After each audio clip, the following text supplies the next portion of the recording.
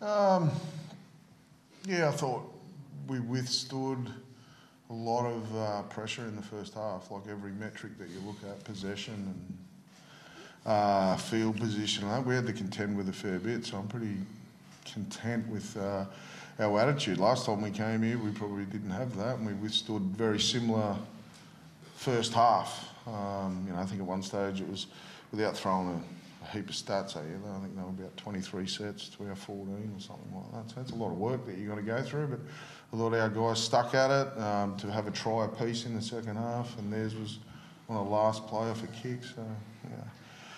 There's some stuff there that we need to get better at, in particular our attack, but that will come. Um, but there's there's a lot to like about that performance with uh, some personnel out.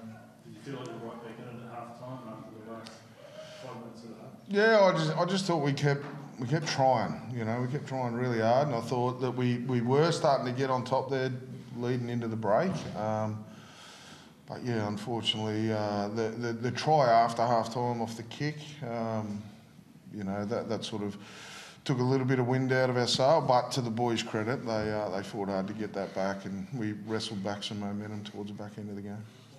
And from a uh, playing point of view, do, do those sentiments echoed as well? You felt like you were in it the whole time?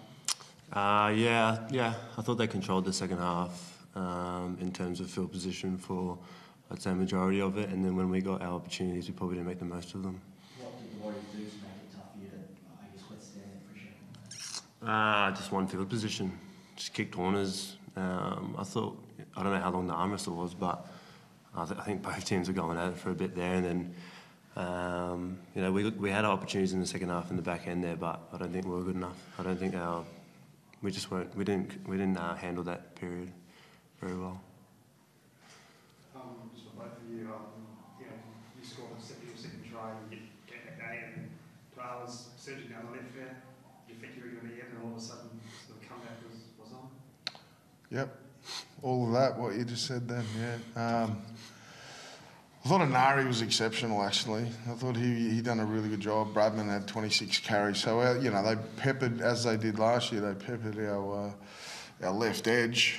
Um, I thought both of those guys, you know, with Bradman carrying the ball 26 times and, and Enari, I thought they were great. But yeah, to answer your question, you know, we created a couple of opportunities. This guy was in the thick of nearly all of those, but um, yeah, it wasn't to be in the end.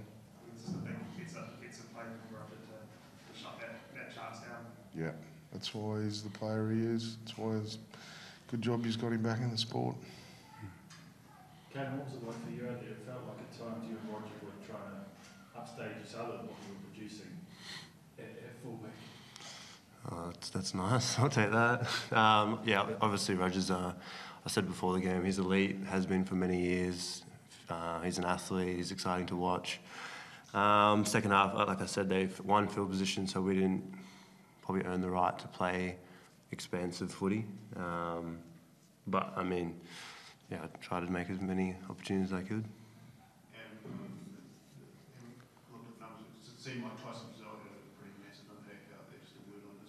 Yeah, outstanding. Does it every week. Does it every day. Um, the way he trains, um, what he puts his body through daily, that's no fluke. I think I said this pre-game. There's no fluke that Frizz comes up with big moments in games um, because he takes himself to those moments daily in our training. So, um, yeah, he's he's exceptional. He's you know a great leader for this for this club, but a good symbol of any young bloke, uh, certainly at our club, on how you need to act and behave daily in training to play this sport and put yourself in great moments. And Kalyn, what was it like having him out on the field, just getting you that go forward? Oh, he's he's done that for us since the day he got to Newcastle, and um, yeah, like Coach said, he does it every day. He's he'll be the first one in there tomorrow or whenever we get back doing extras. Um, he's he's a leader. He's awesome for me. He's one of those guys that um, I definitely look up to and lean lean on um, off the field and on the field. So yeah, he's massive for us. Thanks, guys.